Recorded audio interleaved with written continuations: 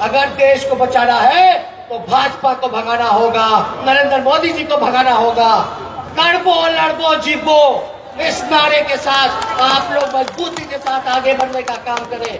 और हम ज़्यादा कुछ ना कहते अपने बात को समाप्त करते हैं। लेकिन हम एक चीज़ चाहेंगे, एक चीज़ चाहेंगे कि आप लोग हमारे नारे के साथ आप लोग भी पीछे लगाने का काम करें। हम बोलेंगे भाजपा भगाओ। आप बोलेंगे देश बचाओ। भाजपा भगाओ। देश बचाओ। भाजपा भगाओ। देश बचाओ। भाजपा भगाओ। देश बचाओ। और जब चुनाव आने लगेगा तो एक चीज़ सावधानी ज़रूर रखिएगा।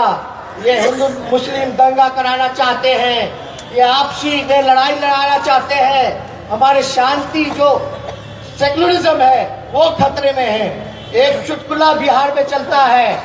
वो चुटकुला ये है कि राम जी और सीता जी स्वर्ग में बैठे हुए राम जी को हिचकी आती है, सीता मैया पूछती है, "हे प्रभु, आपको हिचकी क्यों आ रही है?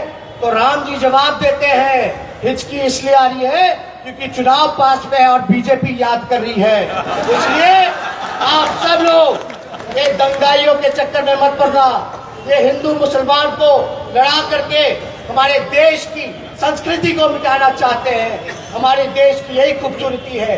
अलग अलग भाषा अलग अलग राज अलग अलग पहनावा अलग अलग लोग हैं दिखने में अलग अलग खान पान है।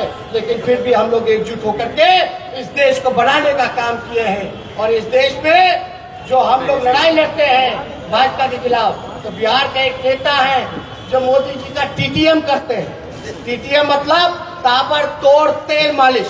चमचाई करना वो टीटीएम करने वाले बोलते हैं कि इन सबको पाकिस्तान भेज देना चाहिए। ये किसी देश जो ये जो देश है किसी के बाप नहीं जो हम लोगों को बाहर देने का हम लोगों ने अंग्रेज़ों को भगाने का काम किया था। और आज जो सत्ता में है वो अंग्रेज़ के गुलाम है। हम लोग इनको भगाएँगे नहीं लेकिन इनको ज़बरदस्त ज़बरदस्त तरीके से इनको सजा देने का काम करेंगे, इनको गद्दी से निकालने का काम करेंगे, जो अंग्रेज़ों को गुलाम है जिन्होंने अंग्रेज़ों की दलाली करने का काम किया।